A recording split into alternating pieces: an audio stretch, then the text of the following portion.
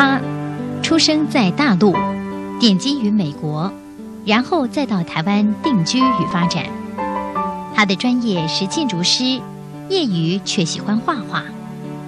从西方到东方，从实用的建筑到感性的绘画，陈其宽以其深厚的人文素养，将传统与现代融会贯通，希望在建筑与绘画中开创出一片新境界。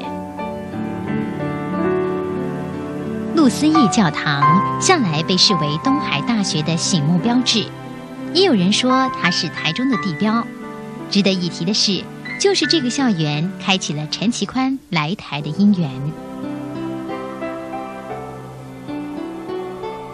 一九五四年那个四月份，我突然得到一个电话，是贝利明先生从纽约打过来的。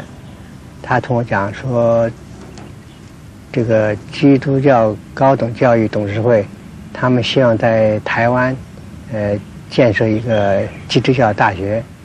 啊，希希望我能去参加，跟他一起过，一起来做这个事情。啊，同时他也希望我啊叫张道康先生一起来来做。啊，后来我们就到纽约去跟他会面，他非常慷慨的答应说跟我们共同合作，所以我们就决定是愿意来放弃当时的那些工作，来参加这个工作。呃，陈先生是。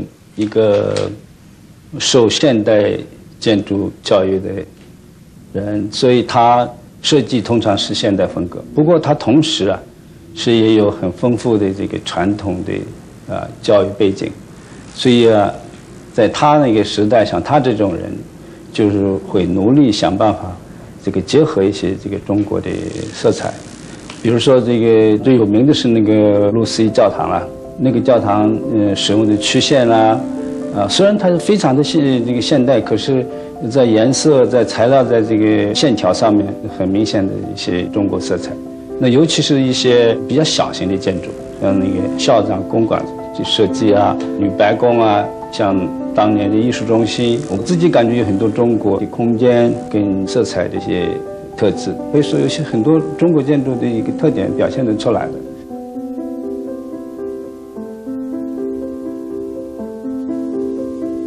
由于东海大学属于教会学校，所以路思义教堂可以说是该校的精神象征。这座教堂前后花了八年的时间，完成以后，在国内与国际佳评不断，可以算是陈其宽最具代表性的建筑之作。在设计上，我们曾经更改了几次这个不同的材料，呃，最初是想用砖来做。后来又想用木头来做，到最后我来到台湾之后，发现台湾的情况有地震、台风、白蚂蚁这些问题，最后选定还是要用这个钢筋水泥土来做比较好，因为钢筋水泥土这东西是一个可可塑性的一种材料。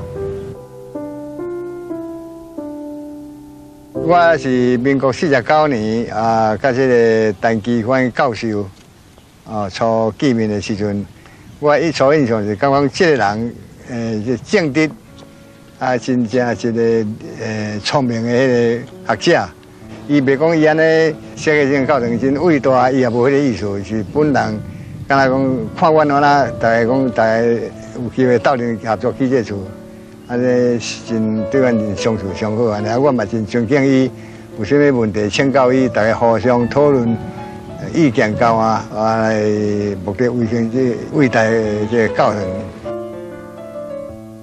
一九五八年，当东海校园的工程进度大致上轨道之后，陈其宽接受吴德耀校长的邀请，来台主持该校的建筑系。